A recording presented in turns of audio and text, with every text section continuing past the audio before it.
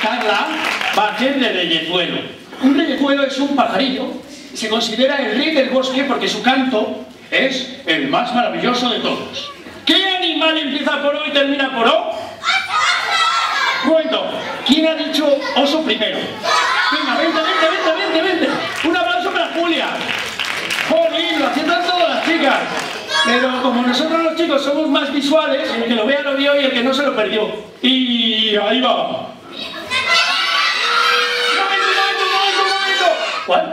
Un león, no. Una cebra, no. Una máscara de león, no. Una máscara de lobo. ¡Sí!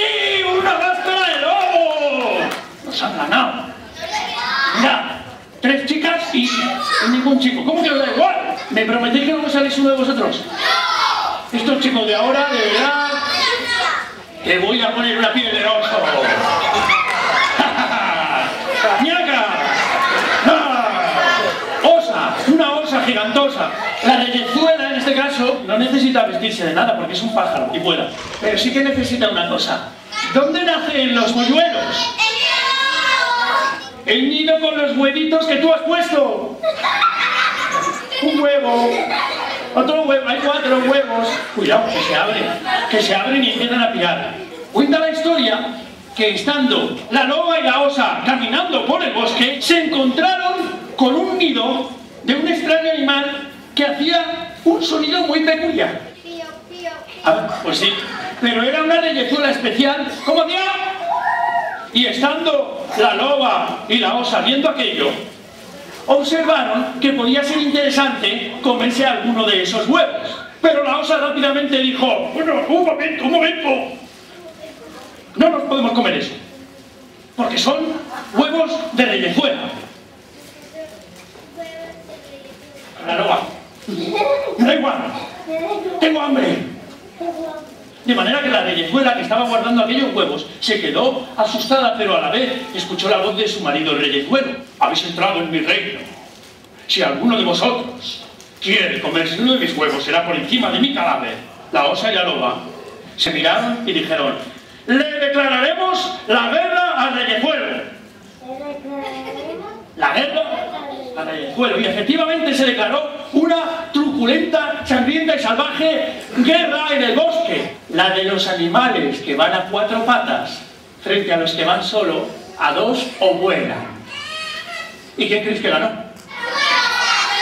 Y ahora lo vamos a averiguar. Porque la reyezuela comenzó a volar y volar. Llamó a todos los seres que tenían alas uno por uno. Venid aquí, venid aquí. Y los convocó a todos. Y se paró en el centro.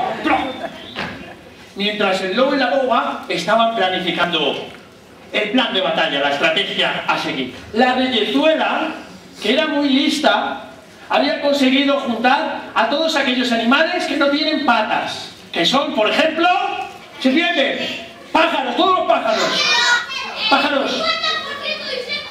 Insectos, muy bien, un aplauso para él que lo ha eliminado. Un aplauso. Lo ha dicho ella también.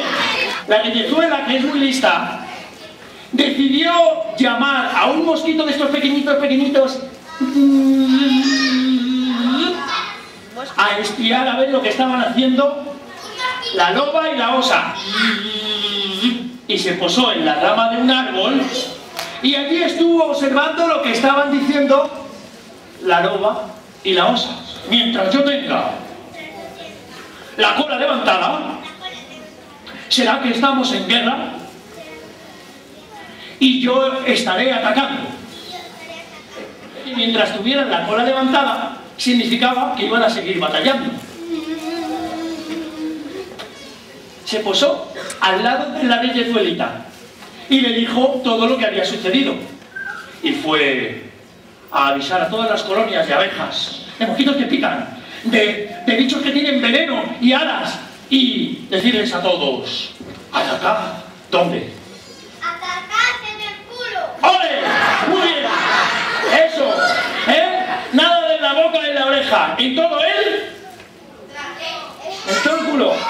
La señora Lobo y la señora Osa se levantaron con más ganas de, de sangre y de batalla que nunca. La Osa extendió los brazos. Y la Loba abrió sus ganas, que ya las lleva abiertas. Pero mira, mira, enséñalas, que lo vean. Y todos los animales iban con la cola levantada. A ver esa cola levantada, colita levantada. Y mientras tanto, todos los mosquitos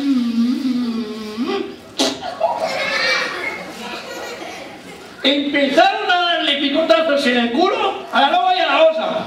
Al principio la loba y la osa intentaban seguir manteniendo la cola levantada. ¡Venga, aguantad ahí! Los fínibes, los mosquitos, las libélulas y las avispas y las abejas...